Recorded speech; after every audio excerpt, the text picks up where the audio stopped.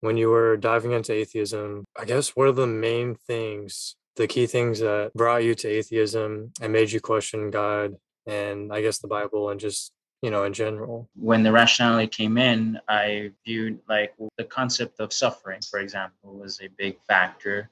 The concept that we don't need uh, god in order to view morality because obviously in the uh, greek philosophers you just needed the platonic forms in order to determine what good and evil is you know? They're out there. I don't why would i need a god? Uh, the contradictions that i felt that was in the bible were you know the Jesus uh, birth from Matthew and Luke, which with the concept of Matthew being that he he was born uh, during the last years of Herod, King Herod, but then in the Gospel of Luke, he was born under the first census under the governor Quirinius, who was the governor at that time. So I saw that as very contradicting. Why is it that you know there were several women watching the resurrection of Jesus, but yet there is one woman only recorded in the gospel that was seeing. So these types of uh, contradictions, and skeptics have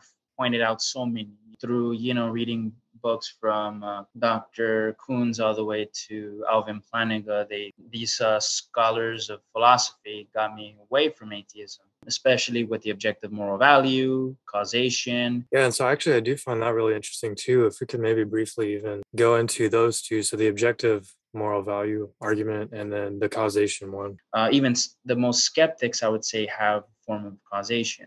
Even those who are skeptic to Christianity, they're the ones who are the most prevalent when it comes to causation because obviously they're they're always trying to figure out what the cause of something is. Even the perspective of people who are want to seek knowledge you have they're always searching for the cause of something. Even now whenever they're trying to figure out what is the cause of the universe you know is it a string theory? Is it a multiverse? It is and so and so and even if they find some form of knowledge they try to say well what caused that yeah, well, my name is Edgar Cardenas, just a normal historian guy trying to um, study theology, history, and philosophy in my spare time. Uh, gone through many denominations within Christianity as well as, you know, atheism. And right now I'm in the church. So, pleasure. Yeah. Because originally the Pentecostal church uh, started in the early 1900s in the Azusa Street revivals in California, which was a church that was uh, a Methodist. Very similar, but I didn't get into Methodism till way later. Uh, so I was born in a Pentecostal church. My mom forced me to be uh, going to, you know, church, reading the Bible. You know, as a Protestant, you view the Bible as being the highest authority I think until I was about 18 or 19 is when I started getting interested in uh, the concept or the denomination of Baptists, more specifically Southern Baptists, because there's different denominations within Baptists. Uh, mostly, I got into a group called the BSM, Baptist Student Ministry. They taught me the concept, which was very different, soteriologically speaking, than that of the Pentecostal which was the concept that maybe some of the viewers know is called once saved, always saved. The fact that a person could receive salvation once and never lose it. So you have to say certain prayers, you have to say the Lord's Prayer. After that, you are saved. Uh, so I had a roommate, very interesting, he was Catholic, was telling me about the church and everything. Um, gave me a little bit of, of uh, nuance about the Catholic Church. Then I started getting interested in it in, in church history but at the same time, uh, one of the people who was in the BSM was a Calvinist. Very, I got very interested in Calvinism, so started reading the Westminster Catechism, the London Baptist Conference. You know, started reading works of John Calvin as well. So started reading Ephesians, Galatians, things that you know many Calvinists would point to in order to have their doctrine based on the Bible. So the whole concept of the tulip argument, which is total depravity, unconditional election, limited atonement, irresistible grace, and perseverance of the saints. All that was something that I believed in for a while.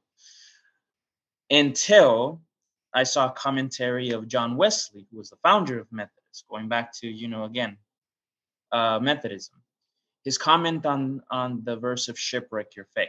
So from a Calvinist perspective, it's a little bit odd that a that an individual person could shipwreck his faith. Obviously, those who are elected are in the boat, but if you could shipwreck your faith, that means you could lose your salvation.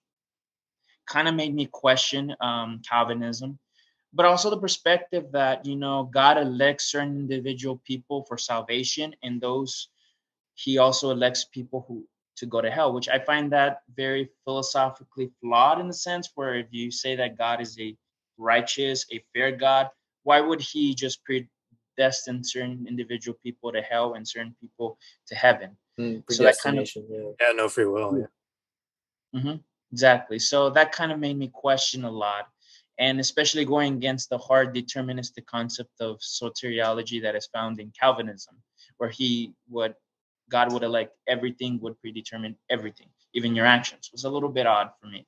Got interested in Anglicanism for a while because Anglicanism, in a sense, has their own form of liturgy that is found within the early church, very similar to Roman Catholicism and Eastern Orthodox. And to an extent, I had problems with having a leader to tell me what to do other than just, you know, look at tradition or just look at uh, scripture.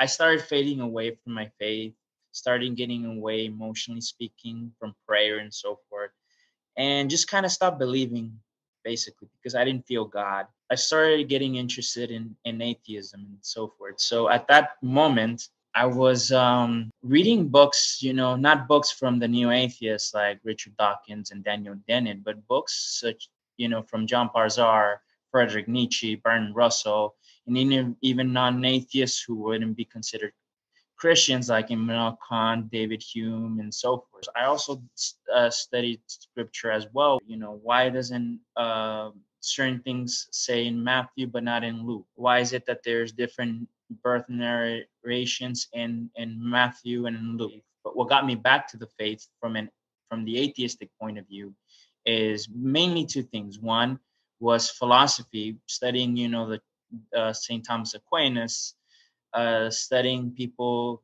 such as, you know, uh, philosophers from the modern times who were considered Christians. And even looking at biblical scholars trying to tie in uh, different uh, gospels in order to see that they don't contradict themselves, but rather they they harmonize. Uh, the other perspective is objective moral value, which is something that you know every human being has to have in order to dictate something to be good or evil. Because obviously, if morality is not objective, it would be subjective. Then who is the one who determines morality? Is it humans or is it through evolutionary naturalism? And if it's by humans, well, everything's very subjective, obviously, because throughout the history of time, different people had different views of um, morality.